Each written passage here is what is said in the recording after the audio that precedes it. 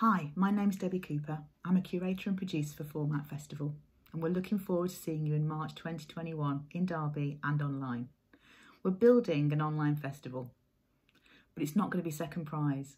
Instead, this opportunity has offered us a creative challenge to connect to our international audience, to enable people who would never be able to travel to Derby to come and be with us and experience all the joy and wonder that is Format International Photography Festival.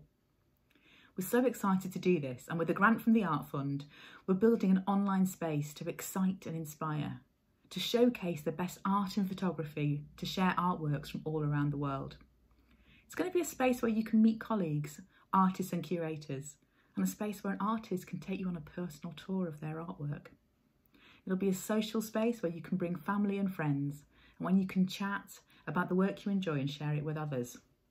It's also going to be an online space that educates and inspires to host school groups, college and universities to inspire the next generation of photographers. We realise we've set ourselves a huge challenge, but we've got funding from the Art Fund, and we've got a creative, fantastic team at Quad and Format, and we're really excited to be working with the team that is New Art City. They're a group of inspiring and ambitious artists and together we're going to make Format 2021 a festival you don't want to miss.